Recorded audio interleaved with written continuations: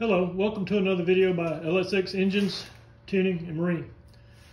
In this video, I'm starting the rebuild of a uh, 4.3 liter Mercruiser V6 engine. This is the second series I've done, and uh, this is uh, this block is ready to uh, install the crankshaft, all the freeze plugs in, uh, oil gallery plugs. Uh, the last video I talked about the relief valve that was in there, and then there's another plug that goes in this hole here.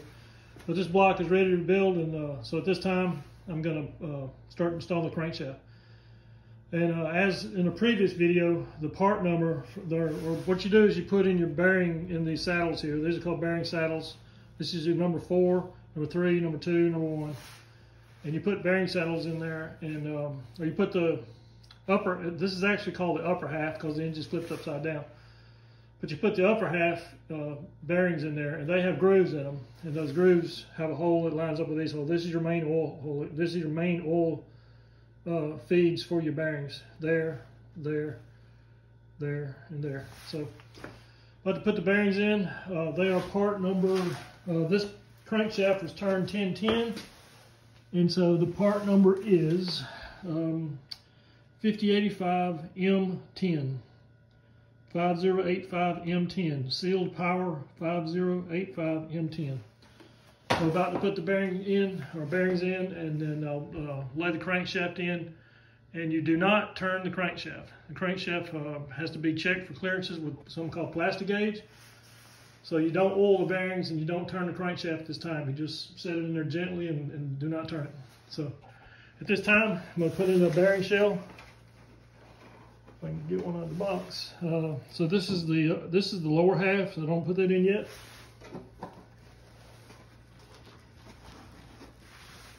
This yeah, this is the upper half. The upper half has the groove, and the holes the hole in the bearing has lined up with the hole in the saddle. So what I do is I set it in the uh, there's a tang. There's a locating tang here. It's actually a locking tang. I put in the other side first. And get it lined up right about there and then push this side down in there. Okay, continuing on with the uh, bearing installments 4.3 V6. There's nothing really wrong. I just had to use my palm to really press real hard right here and right here to get that bearing uh, bearing half to squeeze down in there. Uh, since this is the number four bearing, it's your thrust bearing. There's a thrust surface here and here.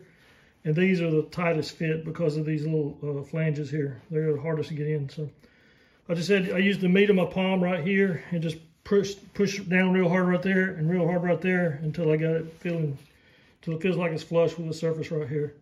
It's not going to be flush. There's a little bit sticking up. That's called uh, that's normal. It's called bearing crush.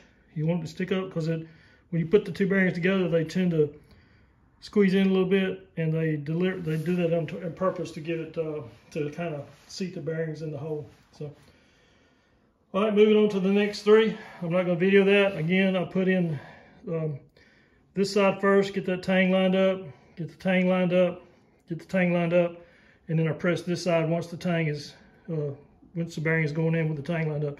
To me, it's a lot easier to do that because that tang sort of locates the bearing lateral wise, and you don't want to get this side started and then the tang not line up and have to pull it back out to it. So it's a lot easier to start the tang first and then work this side in second. So I'm gonna do that now. And uh, next video will uh, show me uh, lowering the crank into these uh, bearing halves. Okay, continue with the uh, Mercruiser 4.3 liter V6 rebuild series 2. I've now placed the crankshaft into the uh, upper main bearing halves or bearing shells I call it and it's upside down so those are actually the top half of the bearing and I've placed it here and now I'm about to um, put the bearing caps on with the uh, uh, lower bearing shell in there. And uh, what you do is you put uh, a you cut a piece of it's called Plastigage, uh, Clevite. Uh, let me see, can see what's the name of it. There you go. MPG1 Plastigage, and uh, you cut a piece. It's like a wax string, and you cut it off the about the width of the bearing, about you know that wide or that wide, whatever and you put the uh, bearing cap on with the uh, other half the bearing on and tighten it down to the specifications.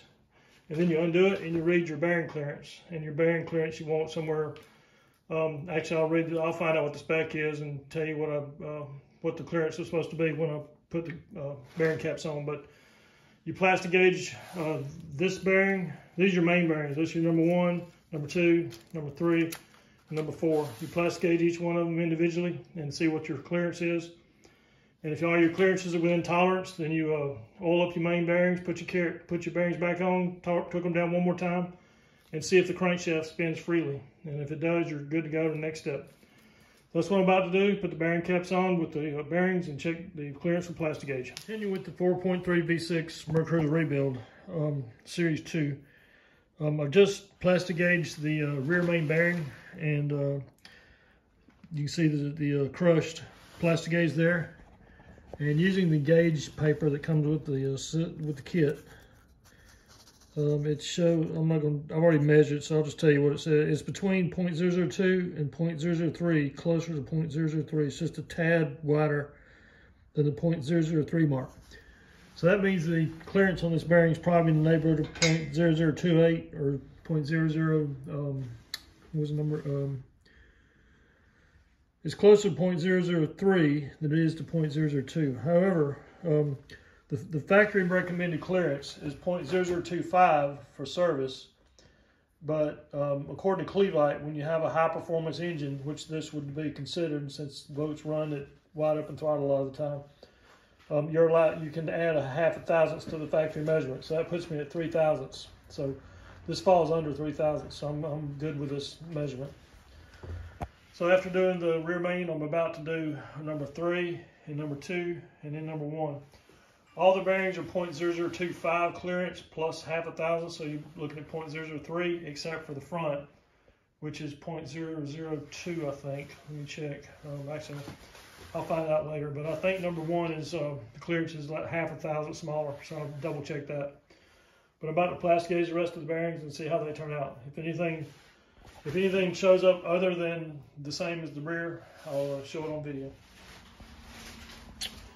All right, main bearing number three, the plastic gauge shows it is exactly 0.002. And it's uh, 0.002 full width of the uh, uh, bearing. So number two is 0.002. I will check that against the spec for spec and call it out on the next video.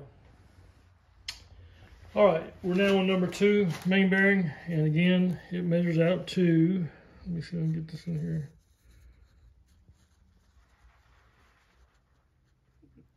Point zero zero two clearance. Let me see. Put there you go. Point zero zero two clearance. And it's the same. The rest of it stuck to the journal, and it's all the same width.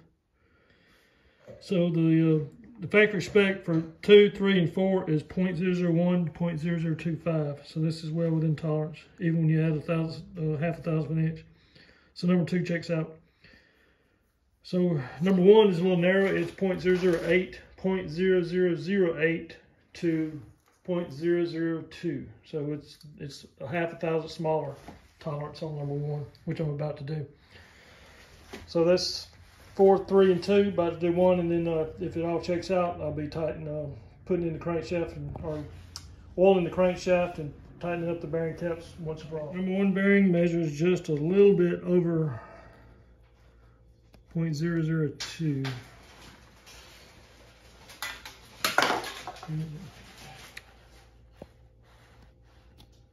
So just a smidgen over 0.002. You add a half a thousandths for high, high speed application and you are within tolerance. 0.002 is the factory spec and I'm just maybe just a smidgen over that plus a 0.005 so 0.0005 so I'm I think I'm within spec with the added half a thousandths for high RPM operation.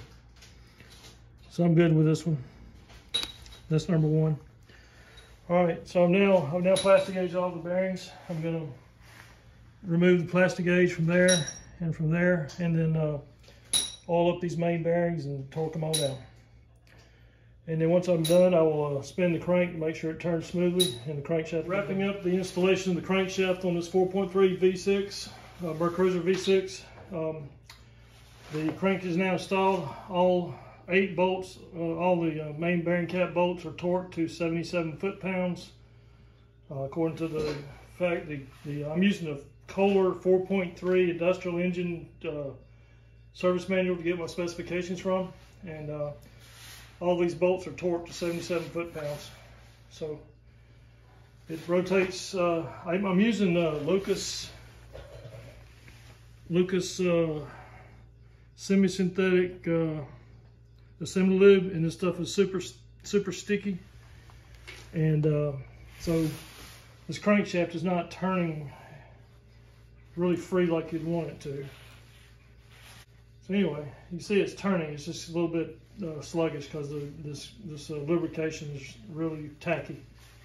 So it's hard to I mean it'll spin but it doesn't want to keep on rolling. So I, I don't feel any uh, any kind of stoppage or anything in there by my hand. So this is a success. The crank is now in. Um, by the way, uh, the most important thing when putting an engine together is, is, keep it clean, even though it may not look like my shop is that clean. Um, before I install anything, I, clean, I cleaned this crank right before I installed it, uh, washed it down with soap and water, and uh, dried it off with, uh, well, washed it down with soap and hot water and dried it off with the air compressor and got all the water off of it and then wiped it down with a rag after that and uh, immediately installed it. And um, every bearing shell I wiped clean on both the outside and the inside and the edges because the bearings just because they come out of the box doesn't necessarily mean they're clean. They can have manufacturing dust on them and so forth. So I cleaned the bearing shells. I cleaned the, uh, the main bearing caps. I wiped them down all over uh, with a clean rag uh, right before I put it together. So um, this crankshaft is now in, and the next stage will be uh, putting the pistons in from the from the uh, top side, and that'll be a new phase of the video. So thanks for watching.